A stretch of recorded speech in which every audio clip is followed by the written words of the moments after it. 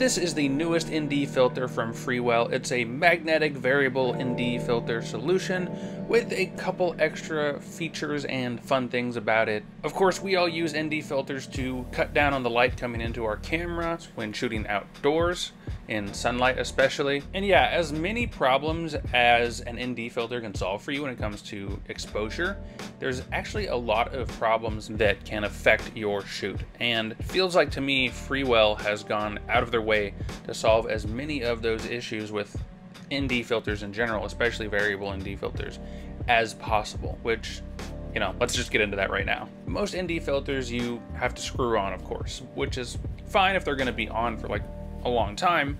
But for me, doing weddings, going in and out of hotels, in and out of party buses, a lot of situations like that, speed is definitely of the essence, and having to unscrew a filter, try not to get your fingerprints on it, all this stuff definitely slows you down.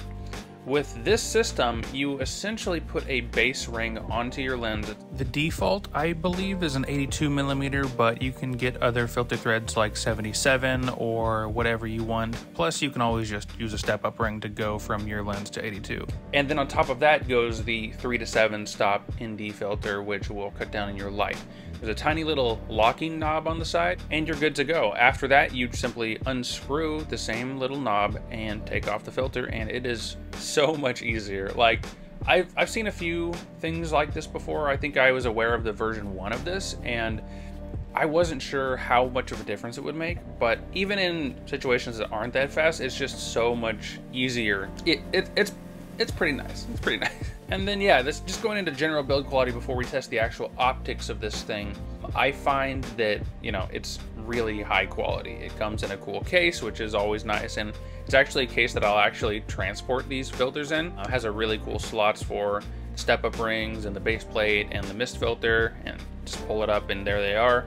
It just has quality to it. The case, the filter, the optics, which we'll talk about in a minute. It's all just really nice. The next problem this thing solved for me was using additional filters. So I'm a big fan of the mist filters, Black Pro Mist, things along those lines, just to soften up the image, especially on really sharp cameras like the S5 Mark II, S5 Mark II X, which no optical low pass filter. Now, these filters aren't really like a substitution for an optical low pass filter, but you gotta do what you gotta do. And typically you just have to put that filter on the lens, and then put your step-up ring, and then put your variable ND filter. Now with this system, they actually make their own mist filters. I was given the snow mist filter, which we're using right now. You can probably see it if I put my hands in the frame to get some glowiness here. And it's a quarter strength this one, but it is also magnetic, so you can just put it straight onto the ND filter and it works right away.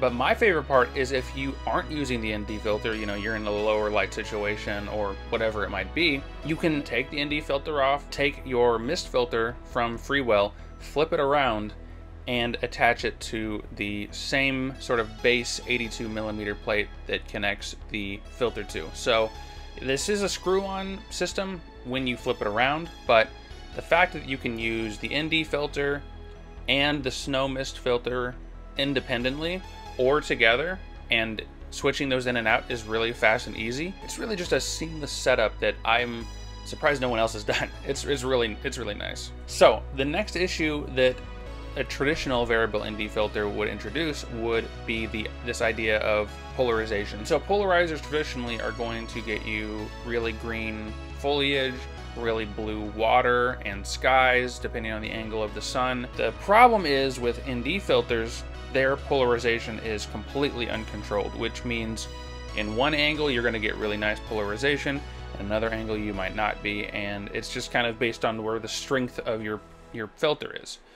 With this filter, you can change your polarization intentionally. So essentially you're going to set your strength, then set your polarization angle and have a great shot. It's just really nice to have a polarizer and an ND filter built into one and it really makes variable ND filters more viable because this is one thing that was really difficult to get around in the past. But another issue you've had if you use cheaper ND filters is the classic X pattern which happens when more cheaply made variable ND filters aren't limited and the Freewell is limited to that three to seven stops so you're going to get a really nice range of stops when it comes to cutting down that light without having any bad you know, vignetting or X patterns or anything along those lines. So that's really nice. With ND filters or any piece of glass you add in front of your lens, I'm always worried about sharpness taking a big hit. I'm worried about flare being really bad or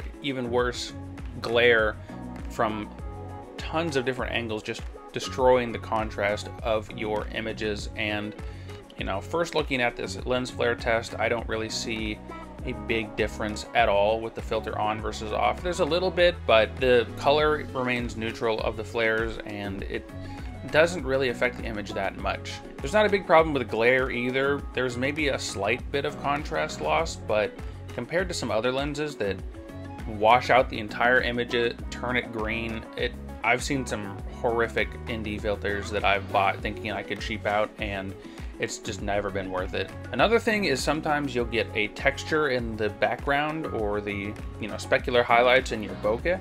And with this lens, I haven't noticed any real issues with an extra texture being introduced to those highlights, which is really nice because I've always thought that looks particularly ugly, just having the weird extra oniony sort of look in your bokeh, just not great and because of the larger size, there's really no issue with vignetting, as well as sharpness and color all lines up really well, and I can't tell the difference in 4K video between filter or no filter. Oh, and let's talk about that snow mist filter for a little bit, and yeah, it is a little strong. I usually go for 1 8 filters for black pro mists and things like that, but a 1 quarter depending on your situation, is going to be pretty nice. I mean, just lights through trees or skies or things like that, it's going to have just a really nice soft image across the frame.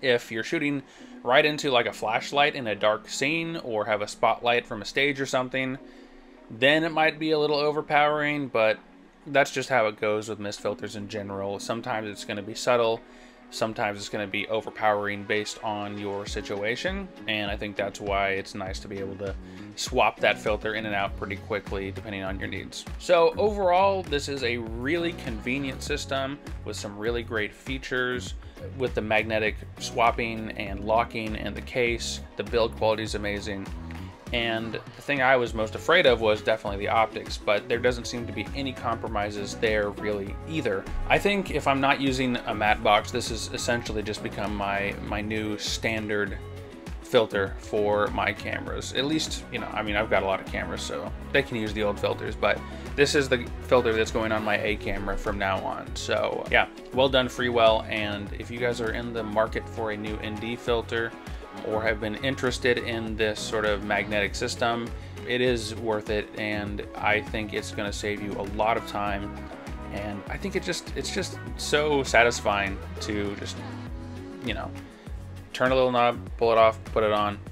Very easy, very quick, and uh, yeah, I, I definitely recommend it. So thanks again for Freewell for sending this out to me. Um, they did send it to me, and I really appreciate it, but they gave me, you know, full rein to say whatever I wanted, which is a requirement for me accepting anything along these lines. And yeah, I think it's really cool. So let me know, guys, what are some ND filters you guys like to use? What do you guys think of this ND filter? And otherwise, I will see you guys in the next video.